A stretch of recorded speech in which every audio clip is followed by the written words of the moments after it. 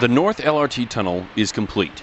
North LRT project is a 3.3 kilometer light rail extension that connects a number of key commercial, educational, and health institutions north of downtown to the rest of the LRT system.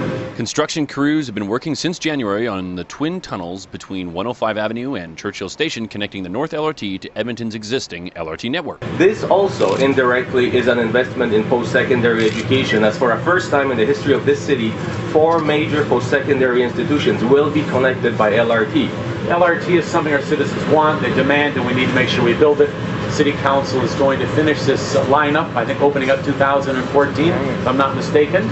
And then we will start constructing one to the southeast end of the city, down to Council Sohi's area, and will be opened up probably 2017 or 18. This is a $755 million project, and it was jointly funded by the governments of Canada, Alberta, and the City of Edmonton.